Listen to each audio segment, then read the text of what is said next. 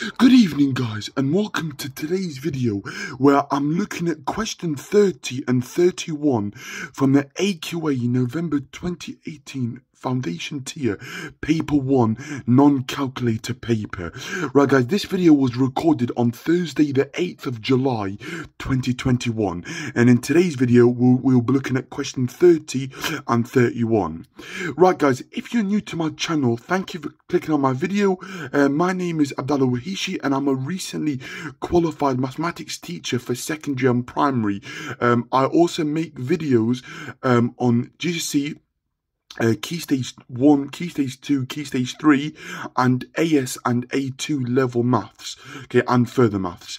If you found my video useful I would really appreciate it if you could press the subscribe button, drop the video a like and also press the bell icon so you don't miss out on further videos and further uploads uh, that come regularly on my channel.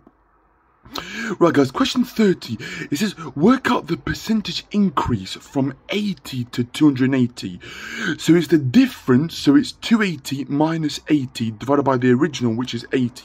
Okay, and then times 100 actually. Okay, so it's a, so it's a fraction times 100. So a fraction to a percentage, is always times it by 100.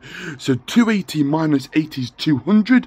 So so it's 2, 2, 2, 200 divided by 80 times 100 well uh, when it's 200 divided by 80 it, it, simplifies to 100 out of 40 which simplifies to 10 out of 4 which is 5 out of 2 which is 2.5 2.5 times 100 is 25 and it's 250 so the percentage uh, increase is 250 percent. So that is the answer for question 30 so please ignore this bit here and this bit here actually. So like, just ignore those sums and that sum here, guys. Okay, because I made like a mistake on there previously because I was dividing by a, a different number instead of 80. So it's the difference in the values divided by the original, multiply it by 100. So 280 minus 80 is what uh, 200. So it's 200 divided by 80 times 100, which is 250%. So that over 80. So dividing top and bottom by 2, I get 100 over 40. Dividing that by 10, I get 10 over 4, which is just 2.5, or 5 over 2, and 2.5, and 2.5. So 2.5 times 100, so make sure that we're happy with our multiplication of uh, 100, so it's 25, and then it's 250. So the answer is 250% for question 30, guys. Yeah, and and it, it, it was worth, I believe, three marks. I think actually, so it, it, I, I think it was worth three or four marks. I, I think it was worth three marks for that question. Question thirty-one, guys.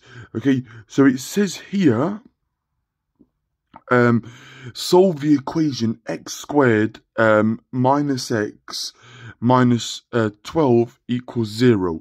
So factorizing this, guys, so it's so it's going to be uh, uh, x plus 3 times x minus 4 equals 0.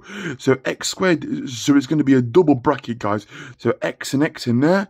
Okay, it's, it's got to be two numbers that add to, to make minus 1 and multiply to make negative 12.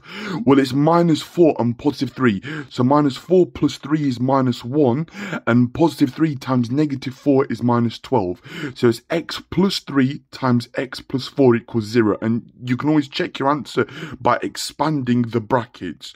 Okay, so doing that, guys, so um, either x plus 3 equals 0 or x minus 4 is 0.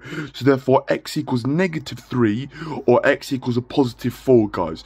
So our solutions are x equals negative 3 or x equals positive 4 for question 31 and that question was worth 3 marks. Okay so it's 2 marks for factorizing it and then two uh, 1 mark for getting your uh, both of your solutions correct. Okay so I hope that actually made sense guys. Okay so thank you so much for watching. Um, like I said at the beginning please please like, comment, share, subscribe, and also press the bell icon next to the subscribe button so you don't miss out on future videos and future uploads. But thank you so much for watching, guys. Take care, and I'll catch you in the next one. Bye for now.